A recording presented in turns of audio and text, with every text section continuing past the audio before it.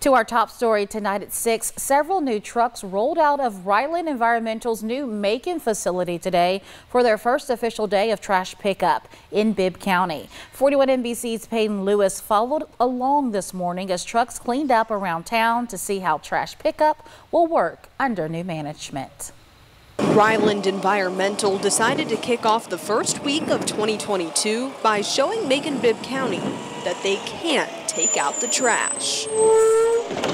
Last year, residents saw the impact of delayed trash pickup after a change in the county's pickup company contract. Last October, the county announced that Ryland Environmental would move from only picking up 20% of the community's garbage to now handling 100% of the job.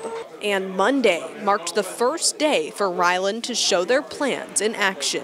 What our goal is and what Mayor Miller's goal has been since he took office was having a cleaner Macon Bibb County.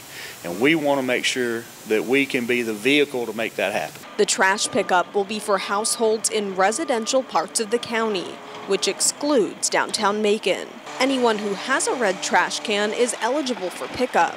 And if you still have another trash can from advanced disposal, they'll pick that one up too but only for a limited time. We want to do that for a couple weeks, uh, but after that third week, we'll just be servicing the red Ryland cans and the blue Ryland recycling cans. As drivers take to their new routes, they're hoping they can pick up all the garbage in the most efficient way possible. James Lanier, the managing partner and director of operations at Ryland, says they're hoping to get Macon Bibb's solid waste issues under control within the next few months. The Macon branch staff asks that all their new customers continue to roll with the punches and to not put regular household trash in their recycling bins. The biggest thing is just be patient with us. You know, we kind of walk, we walking into somewhat of a mess, uh, but you know, we looking forward to the challenge first and foremost. Uh, our objective each and every day is going to be to clear the, clear the trash. And for any overflow or excess trash, you can contact SeeClickFix to come pick it up. In Macon, Peyton Lewis, 41,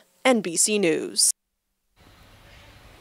And Ryland Environmental says they expect all trash collection issues to be resolved within the next 60 to 90 days.